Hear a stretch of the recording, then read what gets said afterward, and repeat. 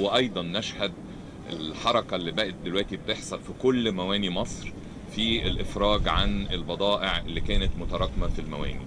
إحنا يمكن بدأنا بزيارة ل يعني واحد من أهم ميادين اسكندرية ميدان محطة مصر وتفقدنا أعمال التطوير ويمكن أهم تحدي كان موجود في هذا الميدان هو كانت مشكلة الباعة الجائلين اللي كانوا بيحتلوا كل منطقة في المينا في الميدان.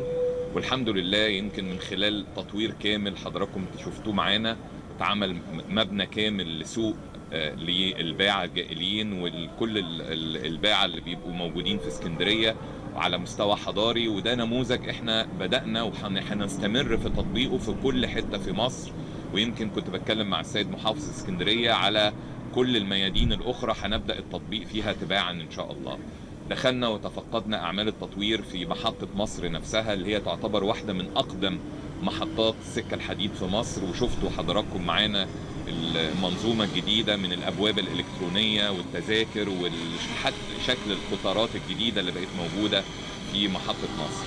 يمكن انتقلنا بعد كده إلى آه، هنا المينا اسكندرية علشان طبعا المينا بيشهد حجم يعني تط- تطوير وإضافة للأرصفة. عمرها ما حصلت في تاريخ هذا المينا زي ما بيحصل في كل مواني الجمهورية.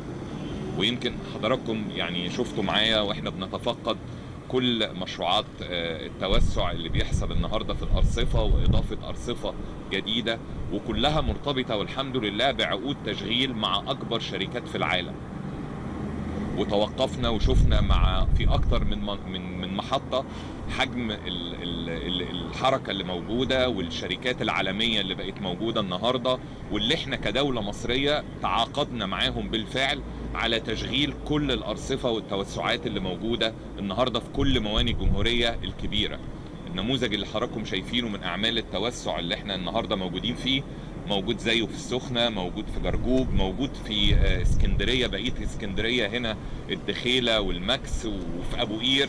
في كل مواني مصر النهارده وسفاجا بيحصل فيها عملية التطوير دي عشان تبقى مصر بحق يعني مركز لوجستي عالمي في المنطقة دي كلها.